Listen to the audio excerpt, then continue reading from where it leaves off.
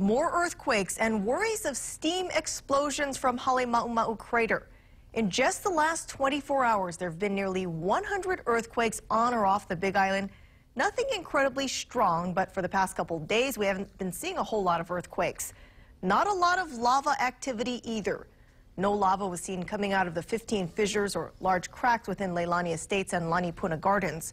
But it's not over yet, though officials are turning more attention towards Halemaumau crater.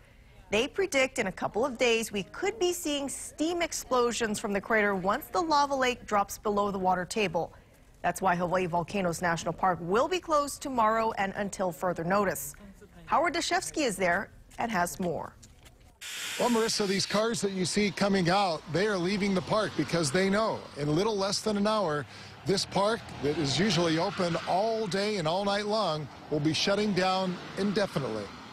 One of its proudest claims is that it's open for visitors 24-7, 365 days a year. But tonight, and for the second night this week, the park will close at 10 p.m. tonight. The park will be closed um, indefinitely. Last weekend, it was dangerous fumes. This time, it's fear of a steam explosion inside of the Halemaumau crater. Our concern is that if the lava lake keeps dropping as it has over the, the last ever how many days, um, that the lava lake level could drop below the water table. If that happens, we're into a whole different uh, situation.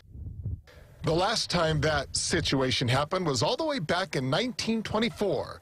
Pressure building up, followed by an explosion so powerful, rocks the size of cars were launched out of the crater.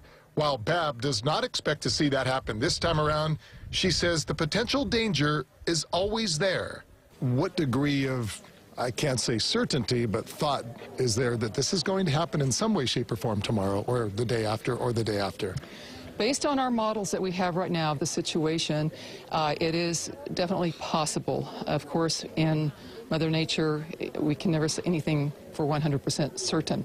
We know it's a possibility, err on the side of caution to be prepared for this. Scientists say the greatest fear with an explosion of this kind is that it comes with little or no warning. And the potential danger, they say, is far too great to allow people, visitors, to remain inside the park. And that's not because we're thinking it's going to be a life-threatening event. It's more of an inconvenience event, a nuisance with ash and small pebbles that are going to be raining down here, not the place that we want people to be. For people outside the park, scientists say there's no need to be concerned about rocks flying out. However, the ashfall could prove to be problematic. In that 1924 event, ash flew as far as Hilo, Pahala, Maku'u, even Hakalau. Scientists say the ash particles can irritate your eyes and your throat, and that if it's falling in your area, you should stay indoors if possible. And it will be a nuisance. It will not be life-threatening. Uh, it will be, we, we expect, uh, you know, to see deposits of several, you know, millimeters, centimeter or so, uh, but still can be a nuisance. It can disrupt water catchment systems. If it falls in the road and is wet, the roads can be slippery.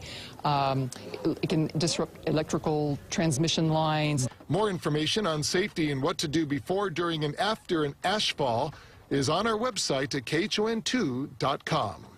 Well, you can see behind me a couple cars are starting to make their way out of the park, but effective 10 o'clock, it's officially shut down, closed indefinitely.